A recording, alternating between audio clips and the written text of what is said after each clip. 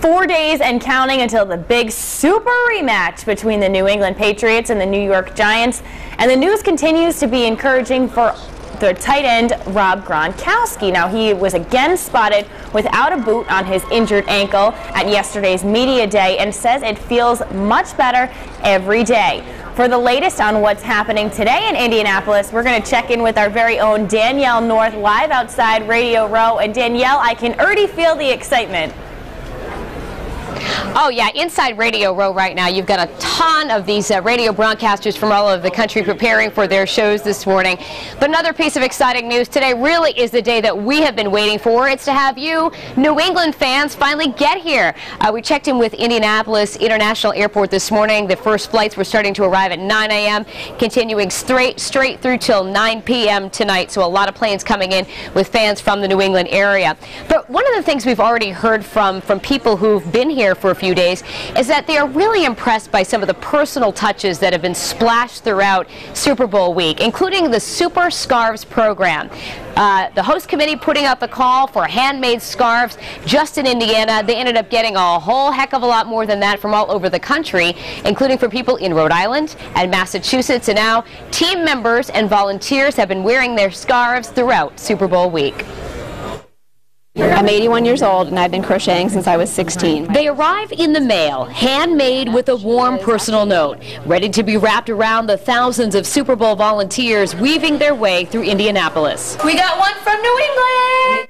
Months ago, the Super Bowl host committee had hoped for 8,000 of these scarves to come from talented Indiana residents. They got 13,000. Became viral very quickly. We didn't know there was this underground knitting and crocheting world. And so we have received scarves from 45 states Washington, D.C., and four countries beyond the United States. And some of these knitters and crocheters went above and beyond, sharing their time and talent many times over. One out of every 32 volunteers is wearing a Bev Mesker crocheted scarf. You're looking at 750 hours that one person dedicated to the volunteer effort for our Super Bowls. Mine was made by Katie Patton. So scattered throughout Super Bowl Village, even on an almost 60 degree day, you'll see these scarves, and now you know some of their stories. Grandmothers, single moms, and even a group of male prisoners working to reacclimate into society, all putting their personal touch on this big Super Bowl week. When they first learned, their product maybe wasn't as perfect as they wanted it to be, and so one of the gentlemen conveyed that in his story about why he thought it was cool to be involved, because he said, you know, when I first was in here, I maybe wasn't as perfect as I should be, but he said, look at my product now.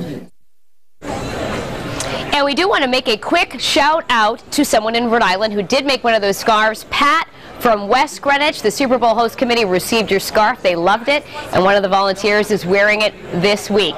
Also, a quick reminder, there's so much going on here that we just can't bring you all of the stories, all of the pictures, all the characters in our live broadcast. So we want to encourage you to check out our Super Bowl blog on foxprovidence.com and also WPRI.com. We've been taking a lot of photos behind the scenes. There's other stories to tell, so we hope you can check those out. We will be back tomorrow morning bright and early with another live report from Indianapolis, but for now, reporting from inside the JW Marriott in downtown Indy, I'm Danielle North for The Rhode Show.